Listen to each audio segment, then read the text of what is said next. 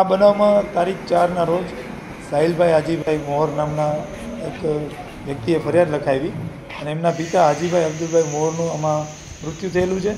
બનાવમાં પહેલાં એવી હકીકત જાહેર થઈ હતી કે તળાવમાં પાણીમાં ડૂબેલી લાશ એક મળી આવી અને એની સાથે મોટરસાઇકલ પણ એનું તળાવમાંથી મળી આવ્યું. એનું થોડુંક શંકાસ્પદ મૃત્યુ જણાતા પેનલ અને એપીએસએલથી એનું પીએમ કરવામાં આવ્યું અને પીએમ દરમિયાન જાણવા મળ્યું કે એના પેટમાં એવી હાજરી પણ છે કે જે દવાથી બેભાન થઈ શકાય અને ગળે ટૂંપો દઈને મારી નાખવામાં આવ્યો છે. પછી એની લાશ છે પાણીમાં ડમ્પ કરવામાં આવી છે. જેથી આ અંગે અત્યારનો બનાવ દાખલ કરવામાં આવ્યો અને બનાવની તપાસ દરમિયાન પોલીસે શોધી કાઢ્યું કે આ બનાવ છે એમાં ખૂન કરનાર એના પત્ની અને મરણ જનારના શાળા પોતે જ છે. અને બનાવનું કારણ પણ એવું છે કે એની દીકરી ઉપર પોતે નજર નાખતો હતો. જેનાથી નારાજ થઈ અને માએ પોતે કરેલું છે. પહેલાં એને જમવામાં અને ચામાં બેભાન થવાની દવા નાખી દીધી. બેભાન થઈ ગયા પછી એને ચૂંદડીથી ગળે ટૂંપો દઈ દીધો.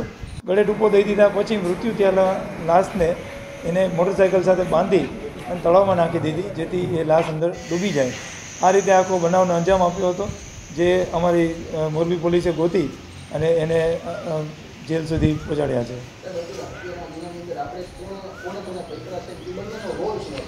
અત્યારે હત્યામાં છે એ ઇમરાનભાઈ હૈદરભાઈ કોડ અને શેરબાનુ વાઇફ ઓફ હાજી મોવરને પકડ્યા છે.